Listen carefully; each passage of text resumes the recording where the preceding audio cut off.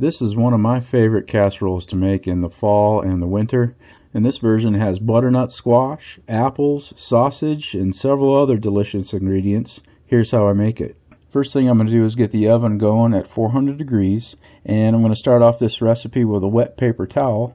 That's going to go down on the counter that's going to keep my cutting board from sliding around because I've got to cut up this butternut squash. And it's January in Iowa, but I've still got butternut squashes left over from the fall harvest from my backyard garden. If you've got some space in your yard where you could grow some butternut squash, I highly recommend it. The flavor in the homegrown squash is just a lot better than the store-bought. I don't know exactly why, but it is pretty much any fall squash will work. I've made it with buttercup squash. I've made it with acorn squash. Uh, I have never tried pumpkin, but uh, yeah, feel free to use your favorite squash in place of the butternut if you don't have that. But the best way I know to clean the squash is to cut both ends off. That way you've got flat surface on both ends and one flat surface you can put down on the cutting board. And then I just take the knife and go from top to bottom and just taking that skin off one little strip at a time. And the skin on a butternut squash is kind of thick. You could use a vegetable peeler for this, but you, will have to go over it uh, more than once. Uh, one pass with a vegetable peeler is not enough depth to get all the skin, so you kind of got to go over it twice. I like to do it with a knife. It's kind of tedious, but it works, gets the job done. The key is to remove all the pale white skin uh, until you've got a nice bright orange showing. Now I'm going to cut the squash in half lengthwise there, keeping that flat side on the cutting board so it doesn't roll around. And I'm going to go ahead and remove those seeds just using a little teaspoon here and just kind of scrape them out. There's a little membrane that kind of lines the inner part of the seed pocket there. And if you can get underneath that with the spoon, that uh, the whole clump of seeds just comes out pretty easily.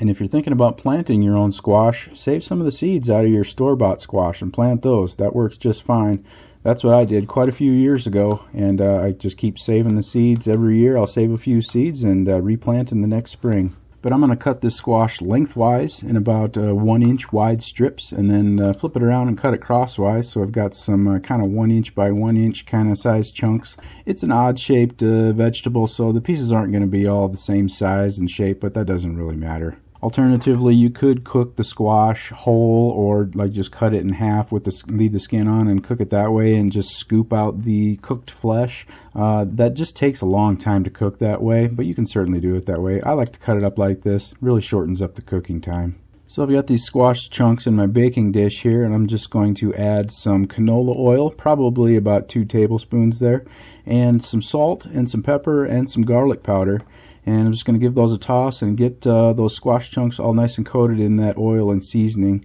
I'm going to cover these with foil and put it in that 400 degree oven. They're going to need to cook in that oven for about 30 minutes. While that's happening, I'm going to turn on the burner to medium high heat and I've got some Italian sausage here. I'm going to get that browning.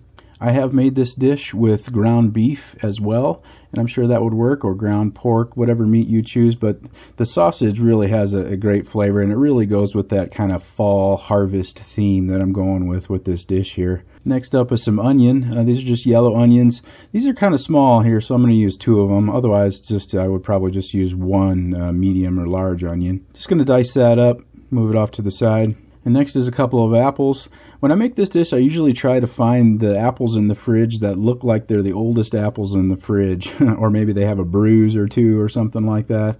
These two fit the bill. This one here is a Sweet Tango apple, and the other one's a honey crisp, but it doesn't matter what kind of apple you have. Just use what you have. Just going to get the skin off of those with the vegetable peeler, and then I just kind of cut apples basically the same way I do like a bell pepper. I just uh, set it down on the cutting board and slice downward and just shave off the uh, sides and just leave the core behind. Yeah, there's a little bit of apple gets wasted, but it's negligible amount really. And I'm going to dice these apples into about half inch size pieces.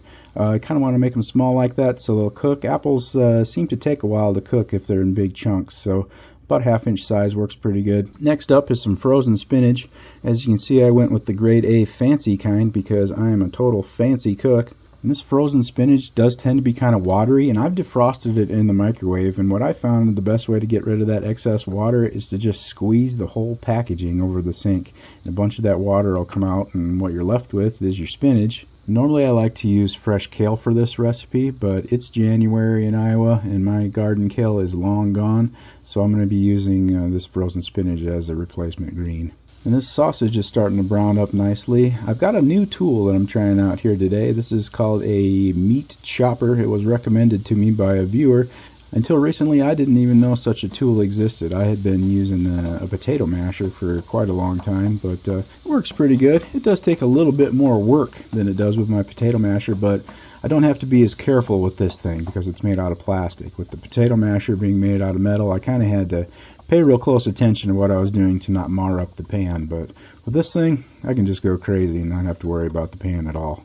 So to that sausage pan, I'm going to add the apples and onions and go ahead and get that mixed up real well and then put the lid on. And to turn the heat down to medium and uh, let those apples and onions and sausage uh, cook there for probably about 10-15 minutes. And while that's happening, I'm going to get some cheese ready. My favorite cheese to have with this casserole is cheddar. That was an 8 ounce package of cheese, and I'm using about half of that package here uh, for this casserole tonight. And I'm going to give these uh, apples and onions and sausage a stir every couple minutes. Just make sure nothing's burning, but uh, keeping that heat on medium.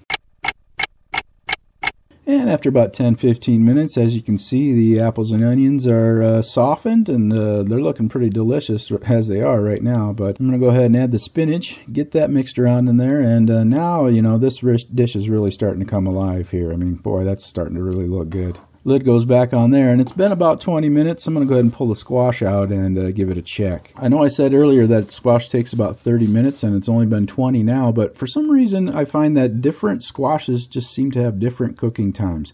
I don't know if it's because of the different moisture content in each individual fruit but uh, for some reason some squashes will cook faster than others just thought I'd check it here. Looks like this one is still a little too firm. I want to be able to pierce that squash easily with a fork, much like you would if you were like cooking a potato. I want it nice and soft. This is still kind of firm. Gonna go back in the oven for another 10 minutes or so. And while you're waiting for the squash to finish cooking, you can keep yourself busy by oiling any squeaky hinges in the cupboards or picking up the little bits of spinach that you spilled on the floor earlier. 10 minutes later and uh, let's check on the squash. That is looking more like it. You can see how that fork just easily slides right into that squash. And if I turn that fork around and try and smush a piece, it just smushes easily. That's what we're looking for. Now you could mash this into a paste at this point if you like that. I kind of like mine to stay a little chunky, so I'm just going to mash it down a little bit with the fork, and uh, that's going to give me some soft, mushy texture, but also some chunks of squash, and I really like that. And the squash is going to be the base of our casserole, and on top of that squash is going to come that uh, whole mixture that we made earlier, the sausage and apples and onions and spinach, and I'm going to pack that down pretty firmly with the back of the spoon. I don't want any air pockets in there. I kind of want it to be nice and tight so it'll cook well. And here comes the cheddar cheese. Cheese goes on top, goes back in the oven uncovered for probably another 10 minutes or so. 10 minutes later, the cheese is melted and uh, it's all bubbly. And uh, I like mine just a little bit browned on top, but if you like yours darker brown, go for it. I recommend just letting this rest for about five minutes or so. It'll kind of come together a little bit and it'll also help you to not uh, burn your face off when you take your first bite. And tonight we're just having a side salad with this, but uh, a nice crispy, crusty baguette would be a, a great uh, pairing with this casserole also. But the combo of the creamy butternut squash, the flavorful sausage, and the apples and onions is just, it's just really good. You're going to have to try it. But that's my recipe for fall squash casserole. I hope you found that useful. See you on the next one.